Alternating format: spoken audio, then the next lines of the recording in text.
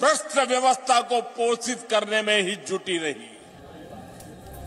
और news room live में आपको एक बड़ी खबर इस समय बता दें। भारत सरकार ने एक बड़ा एक्शन लेने की तैयारी कर ली है। खालिस्तानी आतंकियों और खालिस्तान के पूरे नेटवर्क के खिलाफ पाँच और छह अक्टूबर को एनआईए, आईबी, आरएडब्ल्यू के साथ साथ देश में के सभी राज्यों के एटीएस चीफ की मीटिंग बुलाई गई है और इस मीटिंग में खालिस्तान के पूरे नेटवर्क पर क्रैकडाउन की तैयारी की गई है। सूत्रों के हवाले से बड़ी खबर सामने आ रही है। खालिस्तानी गतिविधियों टेरर एक्टिविटी और गैंगस्टर्स पर सख्त कार्रवाई के लिए एनआईए यानी राष्ट्रीय जाँच एजेंसी ने यह बैठक बुलाई है।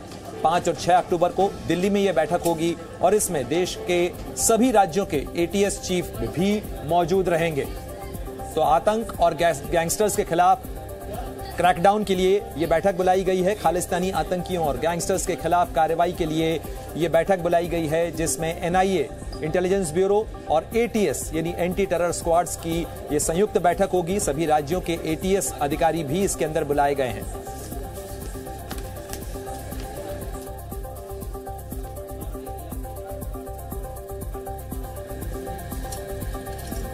और इस बीच एक और बड़ी खबर आपको बता दें कि जहाँ एक तरफ़ भारत खालिस्तानी नेटवर्क पर क्रैकडाउन की तैयारी कर रहा है तो वहीं दूसरी तरफ़ पाकिस्तान भी इस मौके का फ़ायदा उठाने की पूरी कोशिश कर रहा है। पाकिस्तान की खुफिया एजेंसी आईएसआई लगातार इस कोशिश में जुड़ी हुई है कि किस तरीके से इन खालिस्तानी तत्वों का इस्तेमाल किया जा सके और साथ ही अपने नेटवर्क को पंजाब में अस्थिरता फैलाने के लिए बढ़ाने की कोशिश भी करने में आईएसआई जुटी हुई है अपने ऑपरेशन के के सहारे।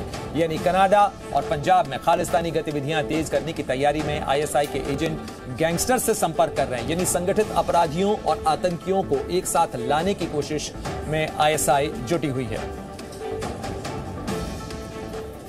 और अब आगे बढ़ते हुए सुपर फास्ट अंदाज में नज़र डाल लीजिए। तो अब बड़ी खबर